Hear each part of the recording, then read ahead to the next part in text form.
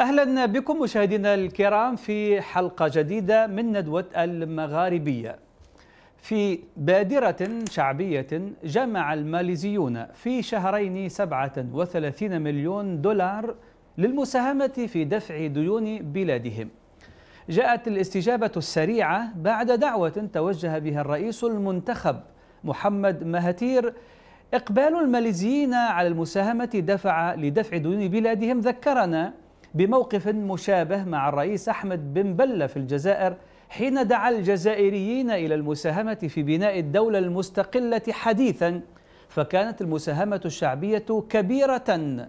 هذه المواقف تحتاج إلى التوقف والدراسة. فلو أطلق أو أطلق حاكم عربي اليوم نفس الدعوة فهل سيجد نفس التجاوب؟ ربما يكون الجواب سلبيا.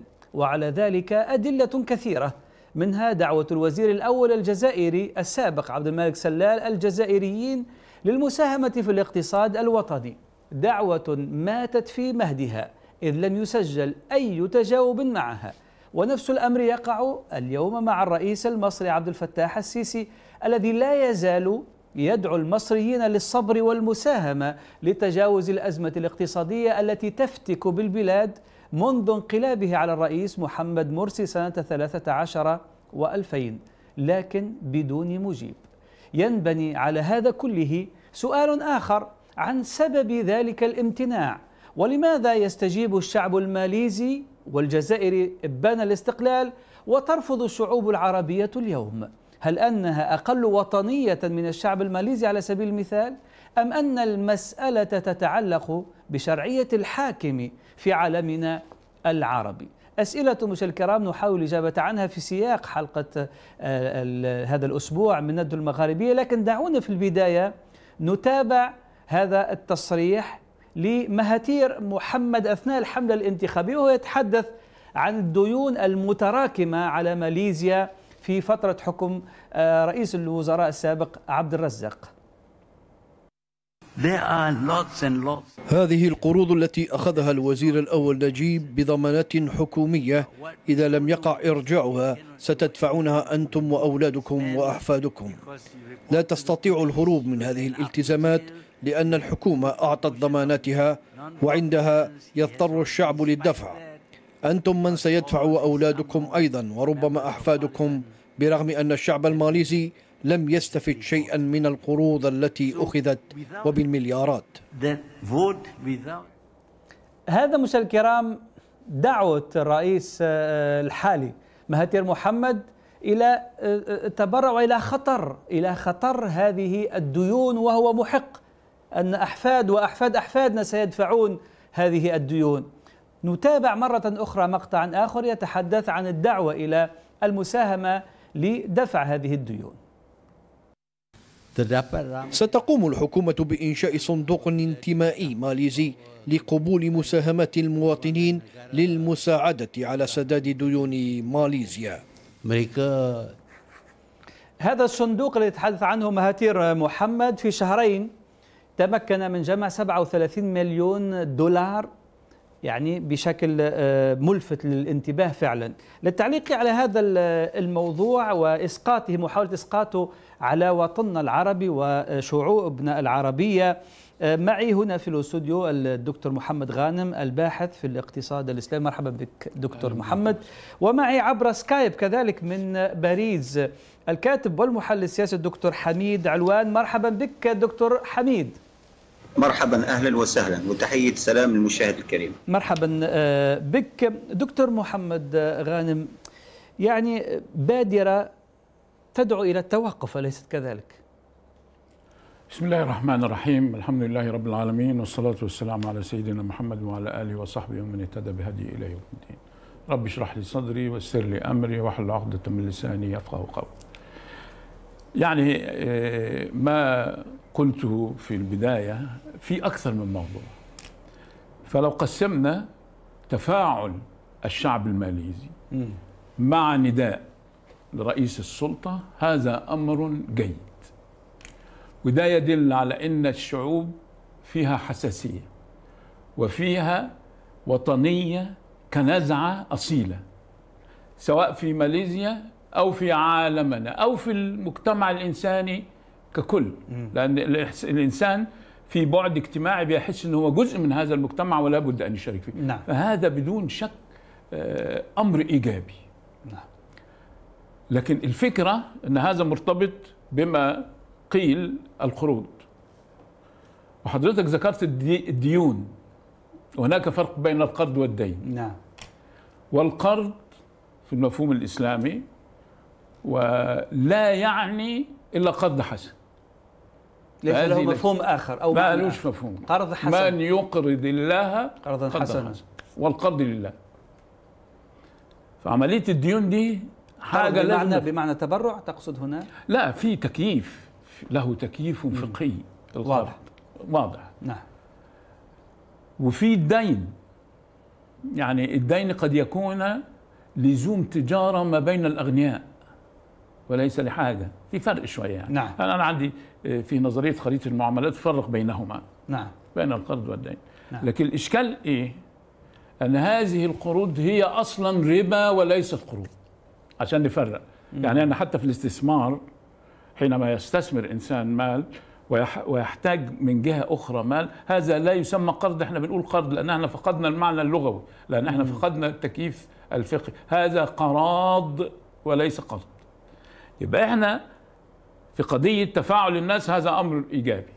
لكن هل هو حل؟ لا. لن يكون حل أبدا. لأن أنت بتعالج آه، العرض وليس المرض. المرض ما الأسباب التي أدت إلى وجود هذه الديون؟ وهل هذه الديون جاءت نيابة بأمر من الشعب ولا لا؟ وده هيقودنا لموضوع آخر مم. أهم وعام هي نعم. كيفية إدارة المجتمعات وما هي الحكم في الإسلام. مم. إيه هي الحكم؟ يعني الرسول عليه الصلاة والسلام يقول تنقض عرى الإسلام. عروة عروة عرى الإسلام كلها تنقض عروة أولها الحكم. إحنا أصبحنا أمة تغاضينا عن كل هذه الأمور. وأصبح في انفصال. ما بين الشعب والقيادة. وكأن الحكم ده أمر آه، الإسلام ليس فيه. وحينما تفرغ الإسلام من الحكم ما بقى في الإسلام؟ يقول لك ما فيش حكم ما فيش سياسة ما فيش اقتصاد. بس. طقوس؟ وما هي الطقوس؟ الرسول عليه الصلاة والسلام يقول بني الإسلام على خمس. كلنا نعرف الخمس. نعم. لكن أين البناء؟ الإسلام بناء بني على الخمس. نعم.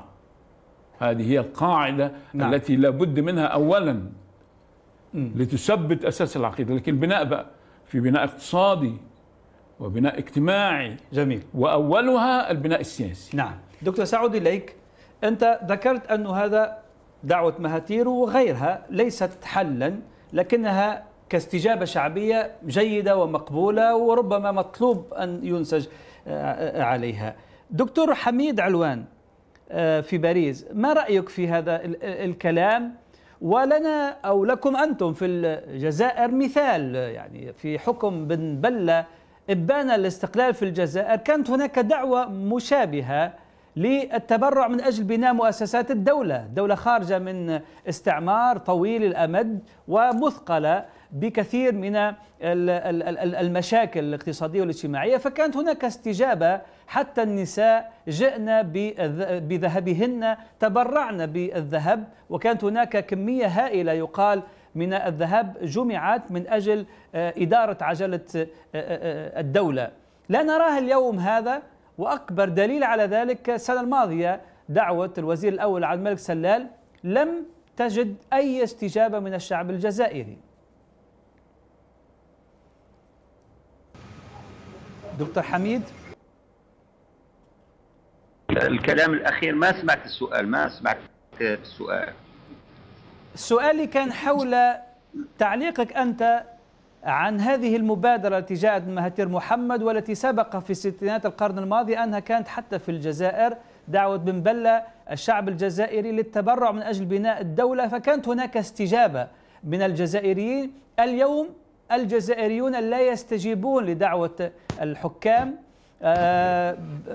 عندنا مثال يتعلق ب عبد الملك سلال دعا الجزائريين للمشاركة في تخفيف الأزمة ولم ترى أي استجابة هذه الدعوة. لماذا استجاب الجزائريون في ستينات القرن الماضي ورفض الجزائريون اليوم؟ سيدي الفاضل شكرا جزيلا وتحية سلام لمشاهد قناة المغاربية وتحية خاصة للشعب العربي المسلم والجزائريين بصفة خاصة. دعني أقول لك يا سيدي الفاضل أن بين الحكم والمحكوم هناك عقد اجتماعي عقد معنوي عقد يربطه هذه القوانين وثقافة المجتمع وروح الانتماء إلى منطقة جغرافية معينة وعند كل الخبراء وعند كل الناس الذين يبحثون في علم الاجتماع وفي علم الاقتصاد دائما يتكلمون أنه لما تتوفر نفس الشروط راح تؤدي إلى نفس النتائج. ومن ثم أنت ربما وضيفك الكريم تكلمتم عن ماليزيا وعلى محمد بن هاتر وهذا الرجل ليس وليد الصدفة بل هو يعني تاريخه يثبت أن هذا الرجل كان قاد ماليزيا إلى الأمام قادها من من مراحل ربما هذه المراحل كانت تعاني كان يعاني منها الشعب الماليزي. ومن ثم ربما قدم بعض الحلول وبكل صدق لما كان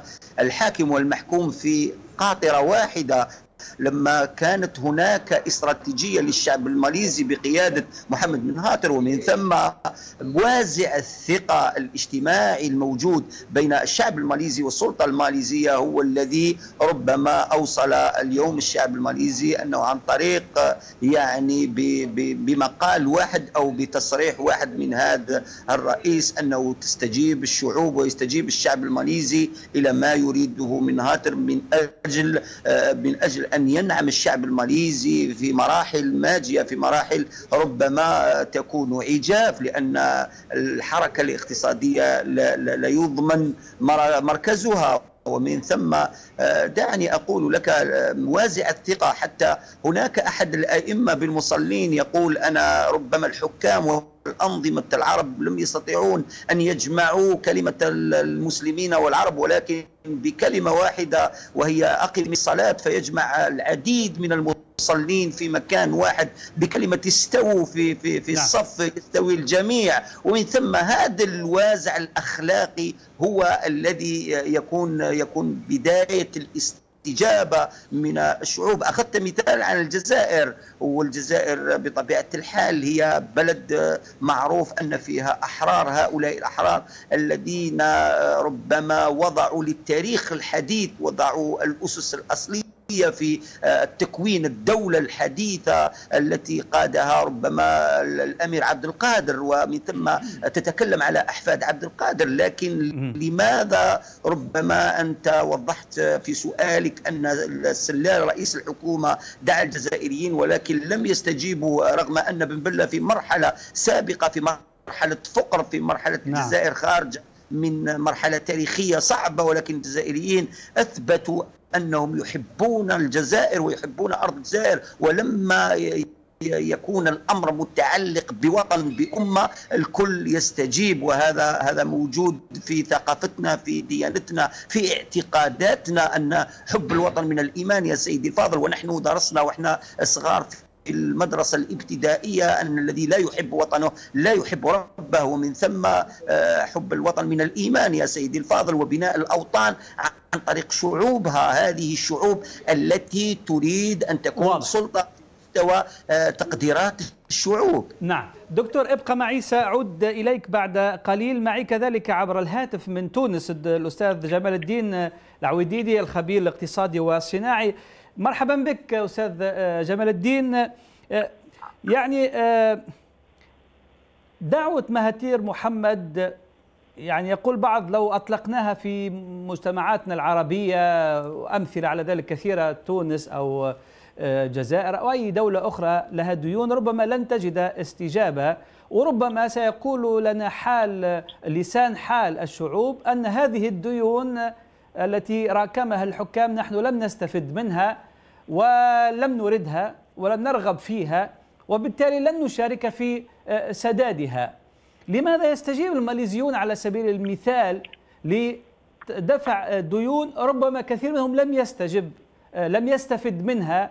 راكمها عبد الرزاق نجيب خلال فترة حكمه في حين أن مجتمعاتنا العربية وشعوبنا لن تستجيب لهذه الدعوة. ما السر يعني؟ ما أين الخلل يعني؟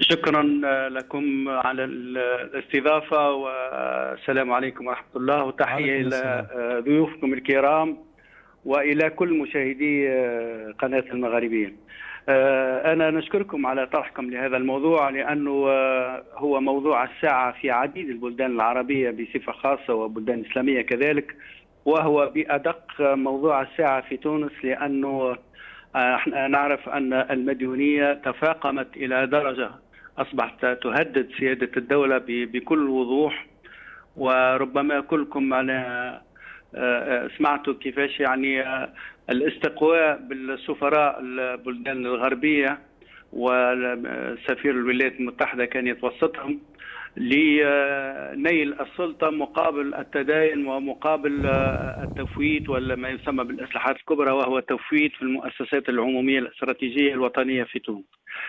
سيادتك أنا ذكرت يعني أنه كان مثال في الجزائر وهو صحيح يعني المثال الجزائري موجود ولكن المثال هذا كان أيضا في الدفاع على القضية الفلسطينية من عند الفلسطينيين وكذلك أنا نعم. أحب نذكر يعني واقعة في تونس هو في سنة 59 يعني بداية الاستقلال من 56 إلى 59 فرنسا خلت الخزينة الوطنية في تونس يعني فارغة تماما ودبر على الرئيس بورقيبة في, في ذلك الوقت بأن يعين وزيرين من الديانة اليهودية في تونس وهو باروش وبالربي واحد عينه يعني في التجهيز والثاني في المالية وكانت يعني الفكرة على أساس أنه ربما يتوسط لهم في المال لكن ما رأنا أنهم لم يتوسطوا في المال بل كانوا يخرجوا في المال يعني من تونس نعم. خلصة على طريق معناها بيع بعض المواد التونسية. وهذه معروفة يعني واقعة. في سنة 59 تم اقتراح بتكوين شركة اسمها الشركة التونسية للتمويل. وشركة هذه شارك فيها الشعب التونسي بكل فئاته يعني من مهنيين من أصحاب مقاهي من فلاحين صغار فلاحين ومن كل الموظفين البسطاء وكونوا بنك شبه بنك يعني كانت اسمها شركة تونسية للتمويل ودامت حتى لسنة 70 ثم تحولت إلى بنك اسمه بنك التنمية للاقتصاد التونسي وهو البنك الذي مول 70% من النسيج الصناعي التونسي طيب. خاصة في الستينات عندما كانت معناها طفرة كبيرة من المؤسسات الصناعية الكبرى مثل معمل الفولاذ وتكرير النفط ومعمل مصنع الورق بالقصرين إلى غير ذلك ومصنع السكر في باجة. نعم. ثم بعد ذلك معناها تحولت وفي سنة 2000 قضي على هذا البنك بتدبير من صندوق النقد الدولي والاتحاد الأوروبي بتعلة أن تونس ليست مستحقة إلى بنوك تنمية. آه هذا من جهة. من جهة ثانية طبعا الإرادة السياسية والثقة في ال في ال في ال يعني السياسيين النزهاء والنخوة مع حب الوطن هذا اللي يجعل يعني كل مواطن يساهم بالغالي والنفيس في سبيل معناها بعث و يعني اقتصاد منتج نعم. قوي وطني يساهم في التنمية. وهذه البيئة الحق المؤطرة لهذا النوع من الاستعداد معناها للتضحية غير موجود في الوقت الحاضر باستشراء الفساد الذي أصبح معناها العملة السائدة في كل البلدان العربية وخاصة طيب. في تونس. تفضل. أبقى معي أستاذ جمال سعود إليك. دكتور محمد غانم يعني هل تقبل عذر المواطن العربي دعنا نقول حينما يقول أن هذه الديون التي راكمها الحكام نحن لم نطلب منهم ذلك ولم نستفد حتى منهم لا في بنية تحتية ولا في أي شيء. وبالتالي لا يمكن أن نشارك معهم بمعنى أن أنظمة الأنظمة التي اللي هي غير شرعية أو أنظمة التي تعودت الفساد تكاثر الديون وتكثر الديون فلن يستفيد منها أحد إلا هم. وبالتالي من الطبيعي أن يرفض المواطن العربي المشاركة في دفع مثل هذه الديون. وهذا حق حق الشعوب. يعني أنت في أصل القرار على مستوى إدارة المجتمعات أمرهم شورى بينهم. فأنت حتى يعني دايما يقولون السلطة لابد أن تتناسب مع المسؤوليه لما يكون هناك غير مسؤول وغير أصلا مرشح من سلطة المجموعة فكيف يحاسب المجموعة على ذلك؟ ثانيا هل ذلك يحل المشكلة؟ لا يمكن يحل المشكلة. القرض بالمعنى اللي إحنا قلناه لا يمكن أن ينمي. ولذلك حرموا القرض ده هو تعبير حديث خاطئ لغويا هو ربا. وحينما ذم الله سبحانه وتعالى الربا بطريقة لم يذم بها ظاهرة إنسانية بقدر ما ذم الربا. فكيف يكون الربا سببا للنماء؟ مستحيل. فأنت النهارده احتراما للشعب الماليزي هذا حس بصدق النداء. فتجاوب معه. لكن 37 مليون دولار هيعملوا إيه؟ وبعدين حتى لو كانوا شيئا وسبب المشكلة ما زال موجود. نعم. فلا بد إحنا نتفقه في فقه في, في الاقتصاد. طيب. سواء حتى في الاقتصاد الغربي أو الاقتصاد الإسلامي. المشكلة دكتور اليوم الشعوب العربية هذه غارقة في الديون. يعني تأخذ مثال مصر تأخذ مثال تونس تأخذ مثال دول عربية كثيرة يعني نسبة كبيرة ديون. ماذا تفعل الشعوب أمام هذا المشكل؟ لأنه مهاتير قال لهم في الحملة. أنتم وأحفادكم وأبناء أحفادكم سيدفعون هذا الدين إذا تواصل بهذا الشكل. الشعوب كيف تتصرف حينما تجد أن الحاكم يغرقها من شهر إلى آخر بهذه القروض يعني؟ هذا حدث نتيجة تفريط. حينما فرطت الشعوب في اختيار من يمثلها كيف فرطت؟ الشعوب مقهورة هذه. يعني هذا الذي حصل في مصر. يعني آه. عبد الفتاح السيسي في حد اختاره؟ هذا انقلب على رئيس منتخب وفرض نفسه بالقوة. إذن فبالتالي الشعوب مقهورة. لابد أن تثور أصل في معادلات في الرياضة وفي العلاقات الإنسانية معادلات وسنن كونية. لن يصلح الأمر في مصر مثلا ضربت مصر إلا أن يسور الناس. السيسي مثلا أو القائد اللي هو في مصر الآن سيستدين. وهذا ليس لحاجة وليس نتيجة اقتصاد ولا علاقة له بمصر إلا أنه فرض أجنبي. فرض سياسة نعم. أجنبية لإغراق يعني شوف السبب أصلا مصمم لإغراق البلد في الديون. وهكذا أغلبية الدول العربية والإسلامية أن يغرقوا في الديون. فيقع ارتهان حتى القرار الداخلي إلى الخارج. يصبح ال ال طيب. السلطة السياسية خارج بر الدولة لصاحب الدين أو للمرابي. ولذلك حتى في التاريخ في في أسباب تحريم الربا. أن في النهاية بيؤدي للاستعباد. وهكذا الدول. حينما يعجز يصير عبدا عبدا للقرار السياسي. يجوز مش لازم عساكر يجوا يحتلوه لكن القرار السياسي يخرج عن نطاق إرادته. نعم. أعود للدكتور حميد علوان في في باريس.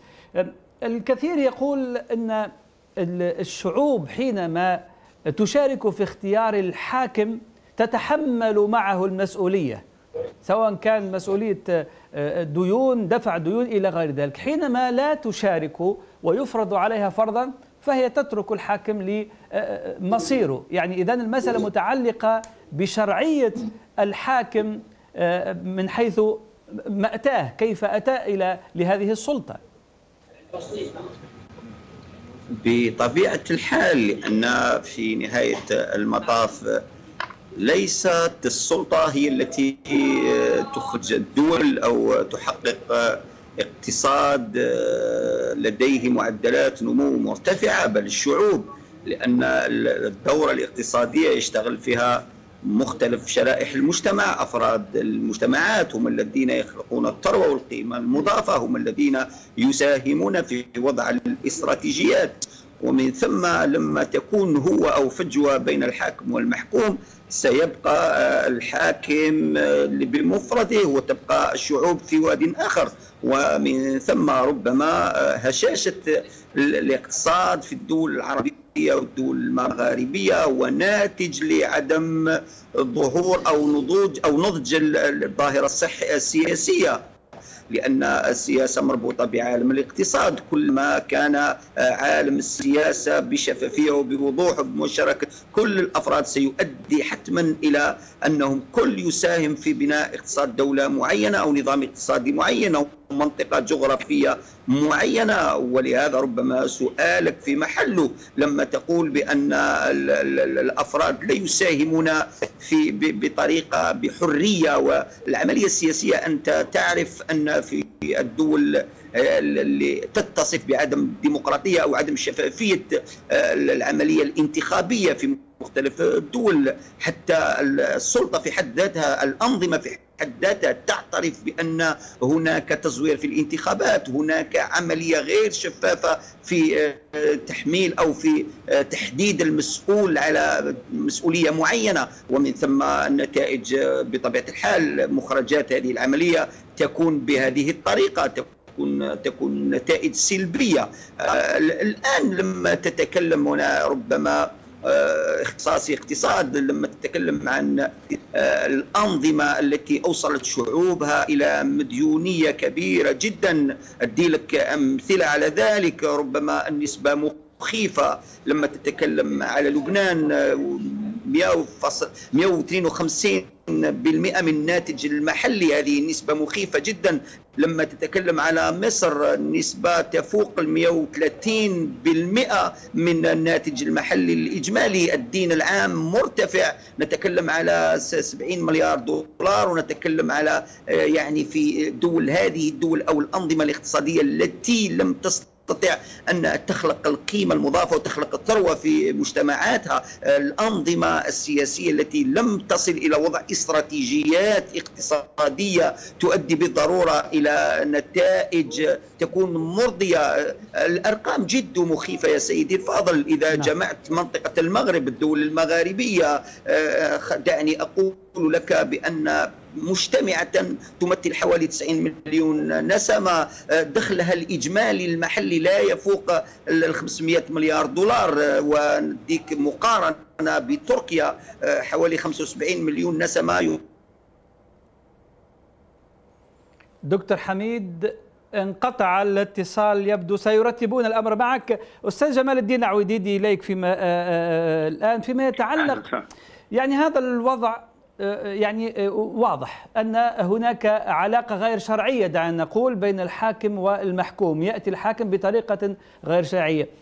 يعني مثال تونس على سبيل المثال الحاكم دعنا نقول شرعي لأنه وقعت بعد الثورة انتخابات شرعية نزيهة قيل انها شفاف إلى غير ذلك وجاءت بمن جاءت. لكن برغم ذلك المواطن التونسي ربما لن يتفاعل لو ألقت الحكومة دعوة للمشاركة والمساهمة في دفع آه، آه، آه، هذه الديون أو إرجاع هذه. لماذا؟ السؤال هنا لماذا؟ برغم أن الحاكم هنا شرعي نجد بعض الأحيان بعض الشعوب لن تتجاوب مع دعوته للمساهمة في رفع أو في دفع هذه الديون. بالفعل معناها هذا هو الوضع. ولكن الجواب هو بسيط وسهل انه الشعب التونسي لم يل وخاصة غالبية الشعب التونسي لأنه من صوت للحزبين الموجودين الأساسيين في السلطة في الوقت الحاضر عددهما كان لا يتجاوز تقريبا 2.8 مليون نسمة في على معناها إجمال تقريبا 8 مليون نسمة اللي هم في يعني في سن حق الانتخاب. وهذا هو يعني التفسير الأساسي. ثانيا لم يلمس الشعب التونسي حتى من النخبة اللي موجودة في الحكم سواء من بعد 2011 إلى يومنا هذا وخاصة من بعد 2014 بل معناها بالعكس انه الثقة معناها اصبحت معناها شبه منعدمة في جدية و قرارات الدولة في مقاومة الفساد. أخي الكريم نحن نعرف عن اقتصاد موازي آه، وصل إلى مستوى يعني مخيف ومرعب جدا. 60% من الناتج الإجمالي الداخلي المحلي. وهذا بمرأى ومسمع ومن جميع الأطراف السياسية إن لم نقل بتواطأ مع جهات سياسية معينة. كل هذا طبعا لا يمهد معناها لوجود اندفاع وطني من أجل هبة كبيرة. لإنقاذ الوطن من مخالب هذا هذا التدين. ثم السؤال الثاني الذي يجب أن نطرحه. لماذا هذا هذا يعني المضي نحو التدين وأصبحت بلاد تعيش بالتدين؟ يعني في كل تقريب ثلاثي لابد من جرعة من الدين بجرعة أو بنسبة كبيرة من سلب البلاد من سيادتها ومن حقها في تقرير مصيرها ومصير معناها اختيارها في حقها في اختيار منوال تنموي يتماشى مع حق معناها حقوق الشعب وتطلعاته للتشغيل. إحنا نعرف أن منوال تنمية يقوم على المناولة لصالح الشركات الأجنبية الذي معناها من الواضح أنه ظهر أظهر فشله المريد وكذلك معناها أصبح متكلس ولا ينتج قيمة مضافة ولا ثروة وما زالوا ما يعني في في طيب. عناد كبير في تكريس نفس المنوال هذا لذلك الخلاصة هو لو التمس الشعب التونسي آه، الجدية وروح المسؤولية والنزاهة في مقاومة الفساد لا شك أنه سوف يندفع من أجل معناها إنقاذ تونس من هذه الديون نعم. وإخراجها من تحت سيطرة صندوق النقد الدولي والبنك الدولي أنت نتذكر أخيرا تقريبا يوم 12 جويليا طيب. يعني سبعه مؤسسات كبرى من أخطر المؤسسات الموجودة والإمبريالية الموجودة في في العالم الوقت الحاضر يعني ليس بمنطق الأدلجة الإمبريالية يعني الغطرسة نعم نعم. وفرض معناها آه، عندما نشوف يعني صندوق النقد الدولي والبنك الدولي والبنك الأفريقي اللي هو أصبح معناها يعني في في في في فائدة يدور في فلك البنك الدولي. وكذلك الشركة المالية العالمية ال SFI Société Financière Internationale وكذلك الاتحاد الأوروبي بفرعيه البنكين البنك الأوروبي والبنك الأوروبي للتنمية. عفوا. والوكالة الفرنسية للتنمية وهو الذراع المالي نتاع السياسة الخارجية الفرنسية في إفريقيا وفي بلدان شمال إفريقيا. كذلك ال KfW الألمانية كلها يعني انصبت في تونس بمايسترو اللي هو ممثل أوروبي في لسياسة الجوار ويأتون إلى تونس ويتقابلون فردا فردا فردا يعني مع رئيس الجمهورية ثم مع رئيس الحكومة ثم مع رئيس البرلمان ب يعني فرض شيئين اثنين في غاية الخطورة ويدخل في خانة هذه المديونية الأول هو ضرورة التفويت في المؤسسات الكبرى الوطنية الاستراتيجية منهم توزيع الغاز توزيع الطاقة وتوزيع والمياه إلى غير ذلك وهي معناها طيب. مسائل في غاية الأهمية كذلك معناها شرط أن آه، توقع تونس على اتفاق شراكة منطقة تبادل حر شامل ومعمق الذي سيفتح. الباب على مصراعيه آه، لكل استثمار وكل مواطن أوروبي لينتصب في البلاد بكل حقوق وبدون واجبات وبدون تأشيرة وفي المقابل ما ثماش يعني ما واضح جدا. تأشيرة منصوبة على الشعب التونسي نعم شكرا لك أستاذ جمال الدين العويدي الخبير الاقتصادي والصناعي. كنت معي من آه، تونس. أعود قبل آه، الذهاب لضيفي هنا في الاستوديو الدكتور حميد علوان. يعني أسألك في سؤال أخير حول الحلول المتوفرة الآن لدى الشعوب. يعني إذا كان لن تشارك في دفع هذه الديون في نهاية الأمر هذه الأنظمة ستزول ستذهب؟ لكن من سيأتي سيتحمل المسؤولية سواء كان نظاما حتى لو كان شرعيا ومعه الشعوب. هل هناك حل وسط بين هذا وذاك؟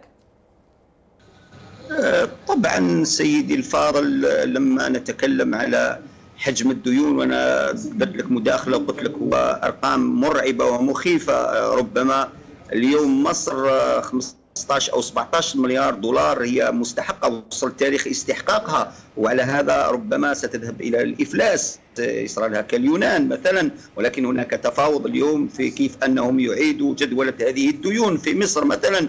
تونس ما بقى لها من احتياطي النقدي إلا 5 ملايير دولار يعني لا يكفي للتوانسه أنهم يستوردوا أقل من 100 يوم آه، واش يأكلوا ويشربوا التوانسه دعني أقول لك سيدي الفاضل هذه فاتورة يدفعها الأجيال بطبيعة الحال لأن عالم الاقتصاد وعالم الأرقام لا يرحم. ربما في مراحل تاريخية لما تكون أخطاء مثل ما تكلمت وما طرحت من أسئلة والإجابات التي كانت من ضيوف الكرام هي فاتورة سيدفعها الأجيال مستقبلا. لهذا ربما الحل الوسط هو هل فعلا اليوم إحنا في نقطة الصفر أو أننا يعني إلى غاية اليوم لم ننهض من سباتنا وإذا طيب كانت دكتور دكتور قبل الدكتور دكتور يعني لو أخذنا مثال الجزائر الآن دولة غنية لها موارد ولكن آه، آه، كانت قبل مجيء بوتفليقة كانت غارقة في الديون جاءت ما سمي بالطفرة المالية وبالتالي وقع دفع كل الديون. الآن هذا الريع ذهب تقريبا وبدأ ينقص بشكل كبير وواضح وكأن الجزائر بدأت تعود أو ستعود مرة أخرى إلى الدين. ما هو الحل في الحالة الجزائرية على سبيل المثال؟ باختصار لو سمحت. سيدي الفاضل حتى رئيس الحكومة سي أحمد يحيى لما آه، لجأ إلى الاستدانة الداخلية وهي تقريبا نفس الاستدانة الخارجية لأن التكاليف ستدفعها البنك المركزي يقترض الخزينة العمومية والخزينة العمومية ستدفع إلى البنك المركزي يوما ما. ولهذا هذه التكلفة يدفعها الجزائريين وكان ربما أمام حتمية وقالها بصريح العبارة وقال بأن هذه الفاتورة سيدفعها الأجيال في المراحل الماجية. ولهذا ربما النتائج إذا إذا ما خذيناش بعين الاعتبار أن اقتصادياتنا إلى غاية اليوم حتى لما تتكلم عن الجزائر هي معدلات نمو غير حقيقية بل هي معدلات نمو من الريع البترولي. الجزائر إلى غاية اليوم لم تستطع انها تنوع في اقتصادياتها وتخلق القيمة المضافة وتبحث عن بدائل أخرى. إلى غاية اليوم السياسات الهشة السياسات الاقتصادية الهشاشة في اقتصاد هذه الدول من بين الجزائر وتونس والمغرب حتى المغرب كذلك هي دولة مستدانة. ودعني أقول لك في نهاية المطاف هذه الدول وكأنها تسمى اقتصادياتها باقتصاديات الاستدانة وكأن المؤسسات تستدين من البنوك عكس ما موجود في الاقتصاد الليبرالي وين الاقتصاد يمول عن طريق سوق المال. أين تباع وتشترى؟ الأسهم. أين تكون في طيب. الشفافية؟ أين يكون في الكفاءات وطرح من هذه المؤسسات التي تخلق القيمة المضافة؟ الجزائر اليوم إذا وصلت في هذا المنوال ستذهب إلى الاستدانة الخارجية ومن ثم التكلفة ستكون ربما ليس بنفس الحدة لأن دولة بترولية دولة غازية ولكن ستكون عواقب هذه العواقب لا تخدم الاقتصاد الجزائري ولا تخدم ما يصبو إليه الجزائريين في المرحلة الماجية. واضح. دكتور حميد علوان الكاتب والمحلل السياسي والخبير الاقتصادي كنت معي من باريس. شكرا جزيلا لك على المساهمة. ورحب بالأستاذ ناصر قلعون الخبير الاقتصادي عسى نكون سبب خير في في التأخر. موضوعنا متعلق آه، كما تعلم باستجابه آه، شعب ماليزيا لدعوة مهاتير محمد للمشاركة في دفع ديون. لو سألنا نفس السؤال السؤال للدول العربية أو بعض الشعوب العربية اليوم مع هذا الواقع ربما لن تجد نفس التجاوب. لماذا؟ لتقديرك. هناك نقطتان لطلب الدعم الشعبي. الأول بالتبرع جربه مهاتير محمد الرئيس السيسي قام بأمر منذ عامين بطلب لكل مواطن مصري أن يعني يتبرع بجنيه كل يوم. لكن هذا يعني برأيي له قيمة رمزية. أنا كنت في ماليزيا منذ 12 عاما وبالتالي بعد أن ذهب مهاتير وكان الدكتور بدوي هو أحمد سيد بدوي رئيس الحكومة. أحد مستشاريه قال لي أنه عندما جاء إلى الحكومة قال لي أعضاء الحكومة الخزانة فارغة. مهاتير صرفها على مشاريع عملاقة. لم أحد يقول أن مهاتير سرق الأموال. لكن الهدر يقوم ب يعني أوجه كثيرة. آه، ذهبت إلى بوتراجايا العاصمة الجديدة وإلى آه، وادي السيليكون وغيره. آه، يعني أشياء خرافية. وبالتالي الخزانة كانت فارغة. نحن الآن بعد 13 سنة الخزانة فارغة ولأسباب أخرى منها الفساد.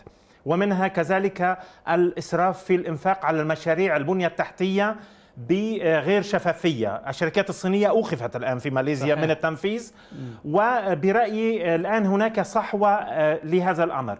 المواطنين الماليزيين بالطبع هذه حملة كما قلت تجند الرأي العام للقول أن هناك آه، أزمة آه، كبيرة في البلد نعم. وخصوصا مستوى البطالة دولة نفطية ماليزيا غنية لكن هذا الغنى برأيي مترنح منذ 15 عاما الناس لا يشعرون به وبالتالي الآن بالطبع ربما نعلم أن مهاتير ذهب إلى اليابان مؤخرا وطلب على الأقل 90 بليون دولار وبالتالي يعني الطلب من الجهات نعم. الدولية الدائنين اليابانيين ربما آه، يعني الجهات البنكية والحكومة وغيره مع الأمر الشعبي بحكم أن له صدام سابق مع صندوق النقد الدولي وبالتالي نعم. هو لا يرتاح للوكالات الدولية. هذا الأمر آه، لنقل عنده عامين حتى يعطي نتيجة. جميل. هل يعطي نتيجة؟ هذا هو المحرك السؤال هو لماذا يستجيب ولو رمزيا الشعب الماليزي وبعض الشعوب لن تستجيب. جبنا تحدثنا عن مثال في الجزائر عن الملك سلال السنة الماضية طلب من رجال الأعمال الجزائريين المساهمة آه، عبر سندات أو أي استثمار فلم يستجب أحد. نعم بسبب انعدام الشفافية وربما تجربة آه، أجهزة الدولة البيروقراطية.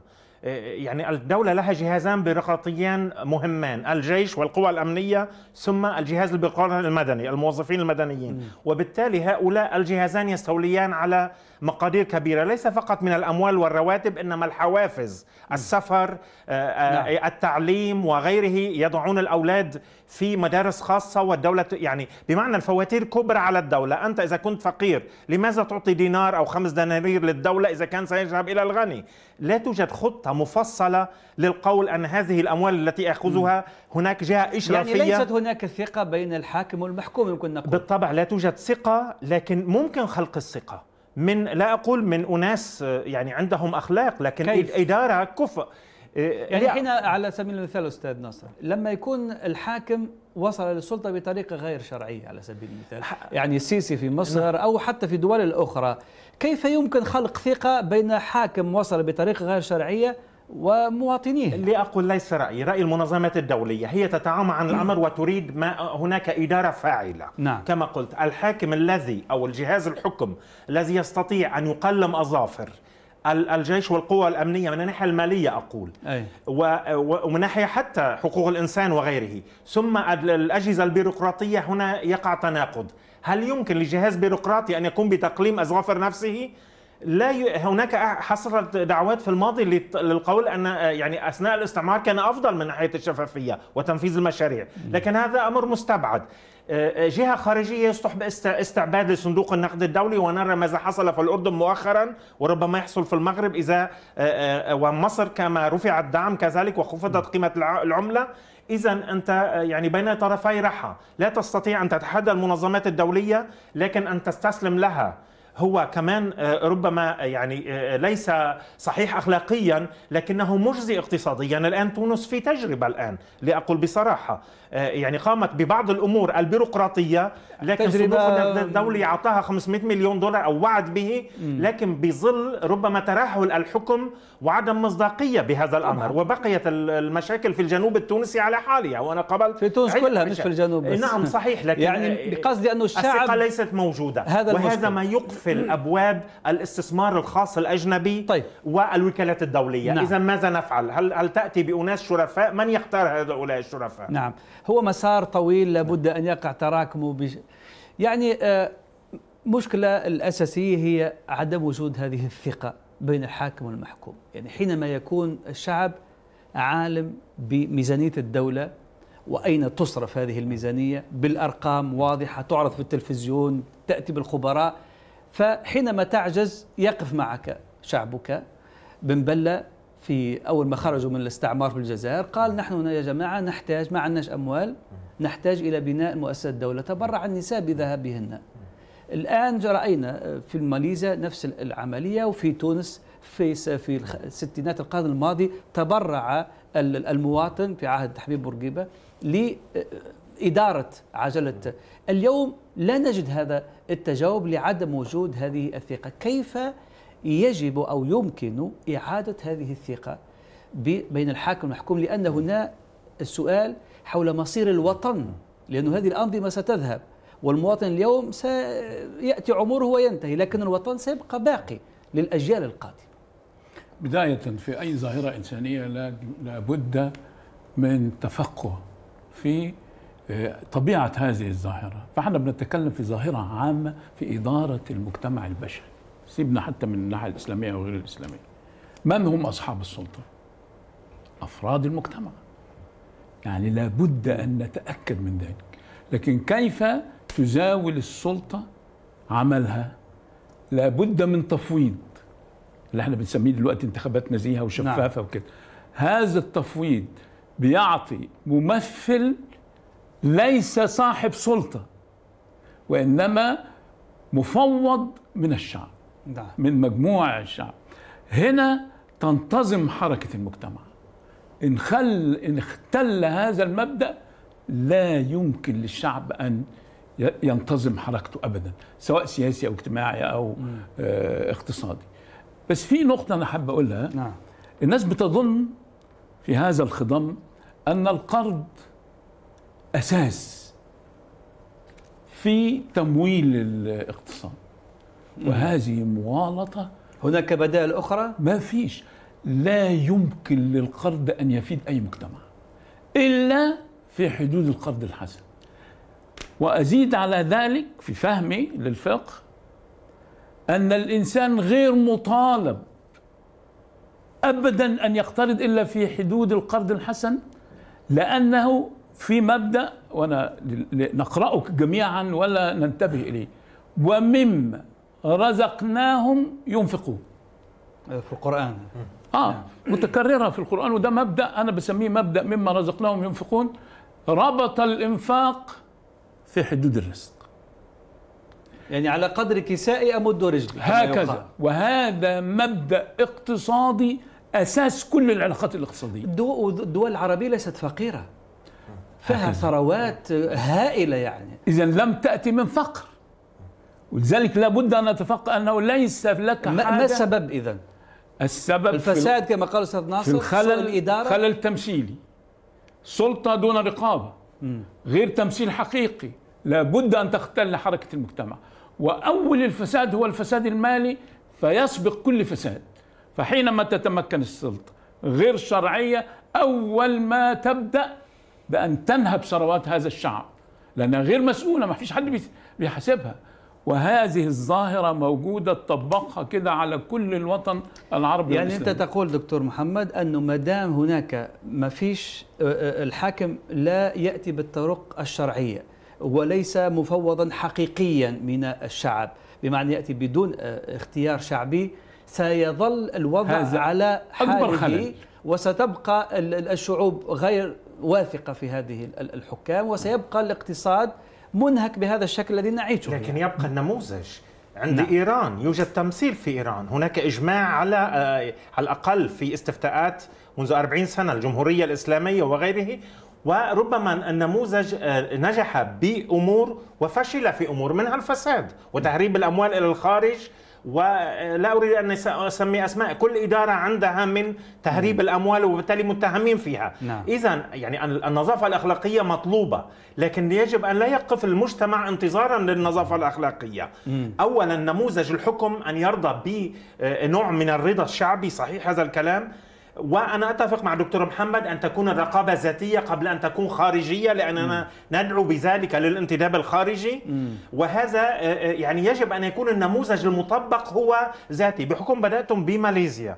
وبالطبع يعني ما هي هناك انتخابات في ماليزيا والآن فاز الدكتور نعم. مهدير محمد وبالتالي هناك مصداقية للنموذج إلى حد ما نعم. يبقى النجاح في نجاعة هذا الأمر وكسب التأييد الشعبي حتى لا تكون حملة الفساد هي انتقام من رمز آه، آخر نعم. لأن ابوه نجيب رزاق كان رمز مثل تونكو عبد الرحمن من المؤسسين في ماليزيا وبالتالي يكون استدامة الإصلاح وهناك نماذج أعطي نموذج بسيط في الشفافية نعم. الدول العربية الخليجية مثلا تأخذ مثل سنغافورة في الصندوق السيادي وفي آه، توزيع الأرباح على يعني على على المواطنين وغيره منذ يومين نشرت آه، صندوق آه، سنغافورة السيادي صفحتين في ال Financial Times عن مداخيل الصندوق طرق نعم. استثمارها ليس كله شفافية لكن نعم. لنفترض 50% شفافية وبالتالي نعم. المواطن والمستثمر الخارجي منشور في صحيفة صحيح. بريطانية يعرف أنه إذا استثمر في سنغافورة ربما هناك حماية وهناك لا أقول ضمان للإرباح ثقة. لكن ثقة وبالتالي نعم. الدول العربية تقلد سنغافورة أتمنى أن يعني تبني النموذج أكثر وتقلدها أكثر في الشفافية والفعالية. نعم. اذا أشكركم ضيفي الكريمين دكتور محمد غانم والأستاذ ناصر قلاوون شكرا جزيلا لكم على قبولكم الدعوة والشكر موصول إليكم مشاهدينا الكرام على حسن المتابعة موعدنا الأسبوع القادم بحول الله السلام عليكم.